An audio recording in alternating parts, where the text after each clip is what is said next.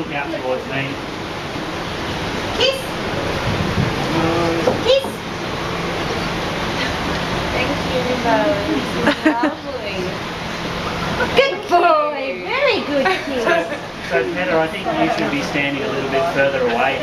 I mean, it, I know it might prompt him to come up a little bit, but he's sort of going to target on your hand then. Okay. So, I'm gonna have to tell my boyfriend about you.